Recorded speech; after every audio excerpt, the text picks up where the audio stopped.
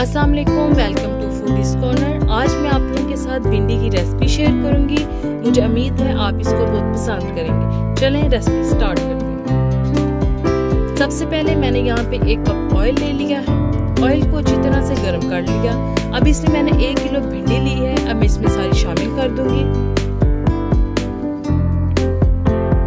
और मैंने इसमें थोड़ा सा नमक शामिल कर दिया। और इसको अच्छी तरह से मैं मिक्स कर लूँगी।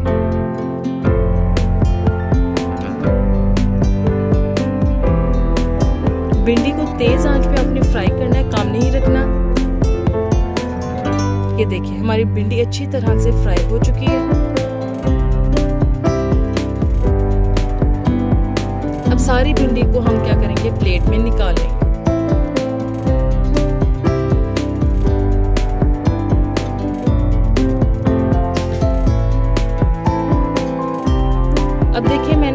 सारी भिंडी जो है प्लेट में निकाल ली है। ये देखिए।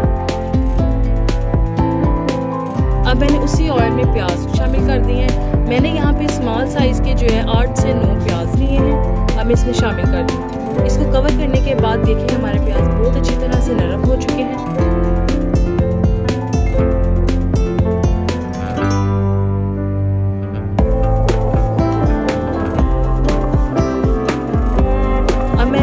जिंजर गार्लिक पेस्ट बनाया, वो शामिल कर दिया मैंने।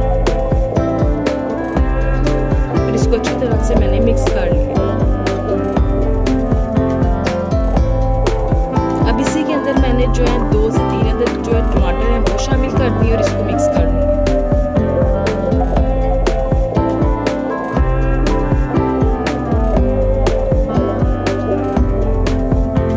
अच्छी तरह से मैं ढक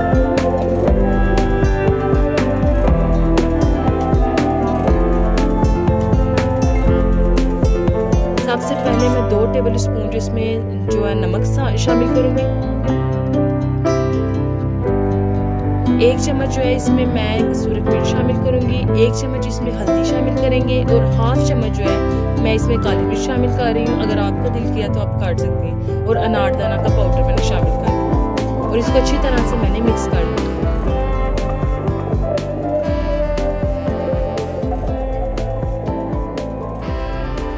इसको अच्छी तरह से मिक्स करने के बाद इसका कलर बहुत अच्छा निकल आया है। अब इसमें जो मैंने भिंडी फ्राई की थी वो मैं सारी इसमें शामिल कर दूँगी।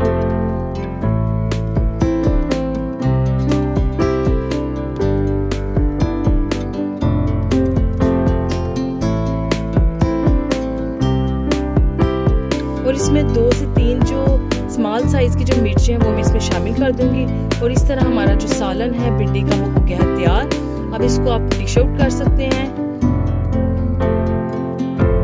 ये देखिए, बहुत ही मज़ेदार हमारा जो सालन है, वो तैयार हो चुका है। मुझे उम्मीद है आज की आपको रेसिपी बहुत पसंद आई होगी। अगर आपको पसंद आई है तो इसको लाइक करें शेयर करें कमेंट करें और इसको सब्सक्राइब करना मत भूलिएगा। Thank you